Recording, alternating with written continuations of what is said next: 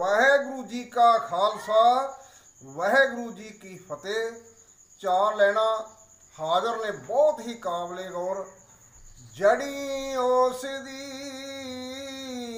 ਕਦੇ ਨਾ ਟੱਪ ਲਾਈਏ, ਜਿਹੜਾ ਵਿੱਚ ਚਰਾਏ ਦੇ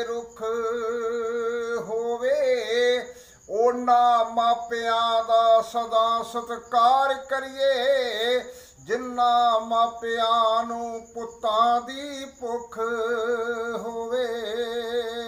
ਲਾਉਣਾ ਬਿਰਸ਼ ਤੇ, ਨੇਕੀ ਦਾ ਬਿਰਸ਼ ਲਾਈਏ ਜਿਹਦਾ ਸਾਰੇ ਜਹਾਨ ਨੂੰ ਸੁਖ ਹੋਵੇ।